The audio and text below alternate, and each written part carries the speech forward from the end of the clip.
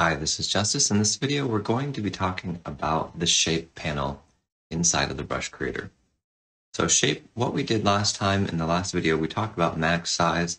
This is going to give you the option of taking whatever brush you have and increasing the size from, from a max size of 10. Let's make sure that this is all, all the way at and here, and let's put this at zero. All right, a max size of 10 Let's bring this all the way up to 700, which is a pretty large brush. And let's switch to the pencil tool. And I'd like to show you something here. Let's bring the size all the way up. And up here, make sure size is set to zero. And let's draw here. And you're going to notice that these are not the same size. So under the hood, there are adjustments for each different tool. All right, let's go ahead and clear our layer. All right, so we're going to do jitter. All these jitters we're going to talk about after we finish. So spacing, a spacing of 100 is going to take the image up here and the grain up here, these squares, and it's going to line them up right next to each other. Now, the reason we can't see this is we have smudge turned on. So again, this square and this square are both on top of each other. All of the white areas is where the paint or the color is coming through. And these are right next to each other. Okay, now when we decrease this, these are going to start to overlap. And they're going to overlap right here 50%. We bring this down to 25.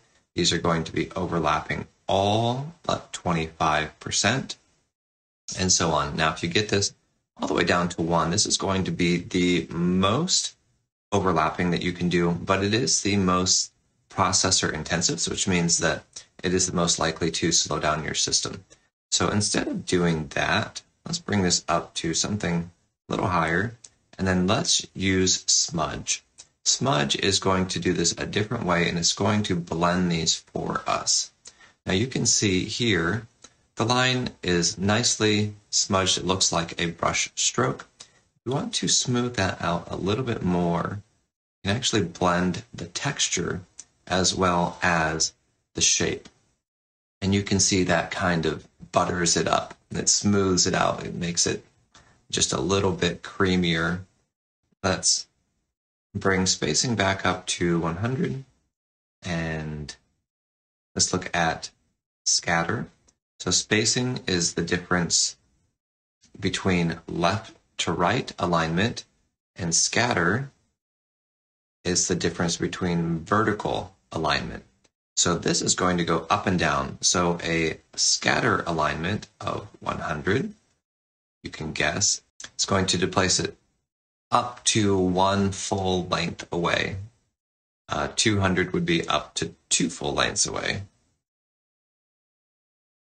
So you can see one space, two space, three space, all of them off of that center line, and that's going to give that. And scatter is jitter. So the scatter is always jitter, so the word jitter is not next to it. So scatter is a randomizer for the brush shape on a vertical plane. Yeah. All right, so let's turn this back down and let's go to opacity. Opacity, you have multipliers and you have a percentage slider over here. So one is going to give us a very light. We can adjust this down. This gives us a lot of precise control. Now we can multiply this, or we can increase here. We have a couple different ways to adjust this. So we can go all the way as high as 10. 10 is going to give us a very opaque stroke, but you really don't have to go this high. You can come down here and bring this all the way up and get a, a very similar response. So you can play with that to adjust your opacity, size. Uh, let's go to angle. So angle is going to adjust the rotation of the shape right up here. So if I change the angle Here you can see even in the brush preview is going to adjust in real time. It's kind of fun. All right, so here you can see the shape. It's rotating here.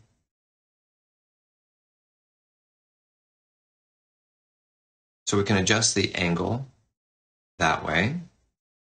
Pen tilt we've been through already. Again, just a quick reminder, follow trajectory is going to follow the path of the brush. Pen tilt is going to look at my brush and the angle that it is on the screen to decide which way. Uh, let's turn smudge back on. You can see this a little bit clearer. And smudge, and let's bring the spacing down. All right, so here, see the difference between these lines because it is paying attention to the tilt of the stylus. And this is this is something I've wanted in a painting program for a long, long time. And pen rotation would be if you have a special, I think Wacom's the only one that makes them, but you can twirl the pen and it twirls the shape, the head of the brush will spin. Uh, that's really cool. If you have that, use it. If you don't have it and you set pen rotation, pen rotation will look, this setting will look at your stylus and say, okay, do you have uh, pen rotation? Yes or no? If the answer is no, it will automatically use pen tilt. It's not going to switch this setting, but it is going to automatically switch internally to use pen tilt. So if you're not sure, use pen rotation uh, or none, and those two will give you the most control with the least amount of um, questions. Okay, so we're going to leave ours on pen rotation, tip tilt. Again, we've gone through this one before. We're going to set this uh, we're going to go to a pencil in order to demonstrate this, and let's adjust our size back down. I'll tell you a little secret. I actually prefer using the watercolor brush with water turned off as my pencil. Here, you can see it's got a nice kind of graphite look. And then when you tip sideways, it doesn't have that multiplying effect it blends very nice and smoothly.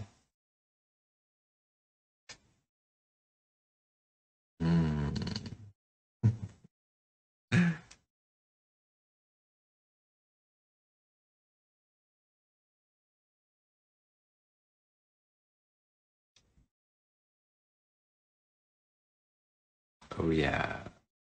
Okay.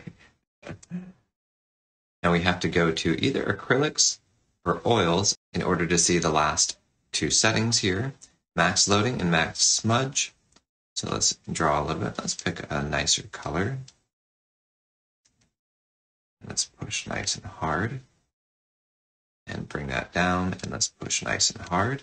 You can see how clearly those are differentiated. Okay, max smudge. Let's bring this all the way down, bring max loading up to 1. So this is a little bit gritty. You can see that grain, this grain right here showing up in that stroke more. Max smudge, let's bring this all the way up. And you can see it's smoother. It's got that same type of effect as this smudged lines. So this option right here, smudged lines, if this is turned off and we drag across the screen, you can see the texture of the brush. We drag fast. If we push hard, you're still going to see that texture showing up. Now, if we turn on smudge lines, this is a velocity-based option. And keep in mind, this setting might actually go through a name change in future versions, but it'll be in the same position. So here, if we drag slowly, and then we go quickly, as soon as we start adding some speed to this, this is going to start blending, smudging that texture into a stroke. All right, the last one here is image sequence. In order for us to get image sequence to show up and not be grayed out, we're going to click on Add Shape. We're going to add four shapes. And let's go ahead and select something different.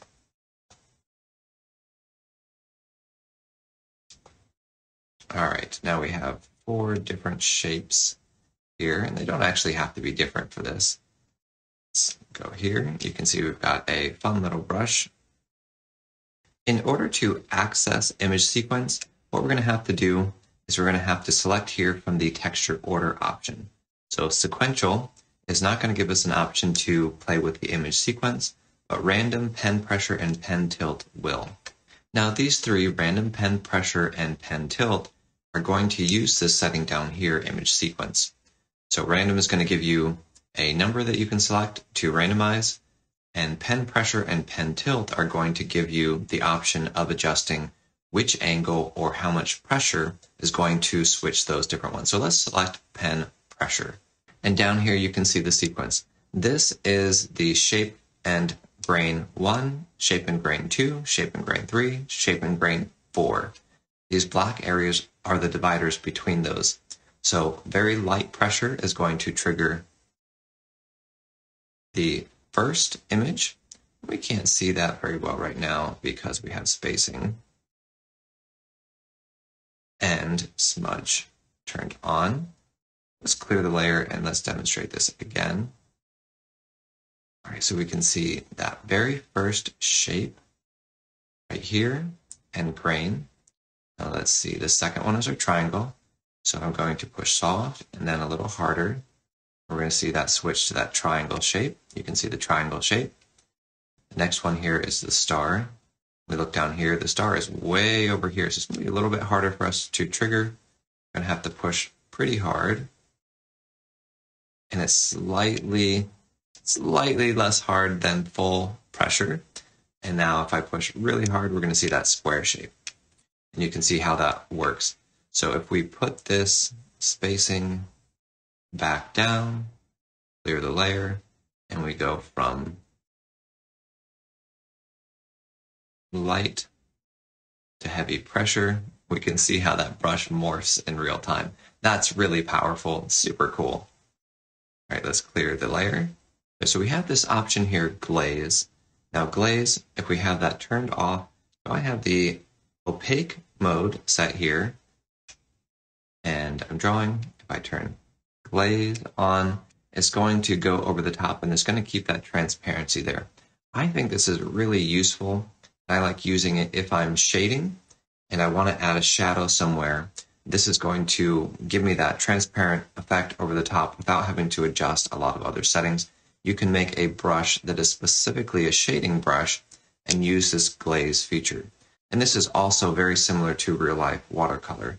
So you can use glaze on your different watercolor brushes to get that effect. Then we have one more little button here, force rotation mode, and this is going to lock these rotation settings.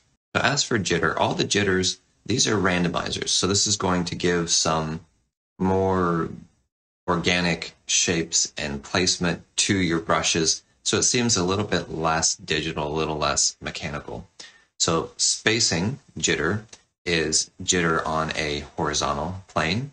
Scatter is jitter on a vertical plane. Opacity jitter is going to fluctuate the opacity of your brush. Size jitter is going to um, fluctuate randomly the size of your brush. The angle, the same thing, is going to adjust the angle randomly. And those, all of these, if you set these at small increments here, then that's going to give you kind of a funky, very organic looking, always different brushstroke. And that kind of looks, that kind of looks cool. All right, so let's see, let's adjust spacing uh, here. No, no, I like that. That's pretty cool. So that's how jitter works. That's it for this video. In the next video, we're going to be going over grain and canvas settings. If you have questions or comments, put it in the comment section below. Thank you for watching. I'll see you in the next video.